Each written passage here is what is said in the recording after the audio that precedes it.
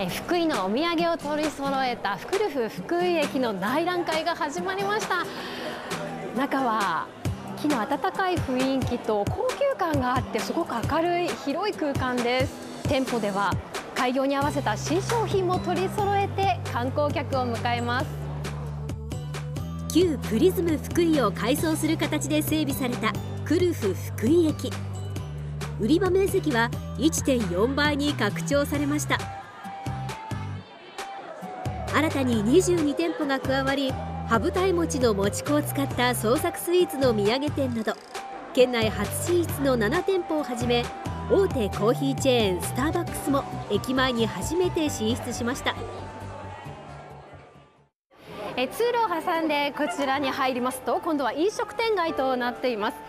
県外の観光客をはじめ地元の方にも楽しめる新しいお店が増えていますよ。自由通路を挟んで南側のエリアには肉料理や中華などバラエティ豊かな飲食店街が広がっています。そしておなじみのマークも福井駅前商店街から姿を消していたマクドナルドも久しぶりに駅前に戻ってきました。混雑緩和のために県内で初めてセルフオーダーのシステムも導入されました。会っぽいな。一気に都会駅で勉強とかするときにあの使えたら便利だなって思います。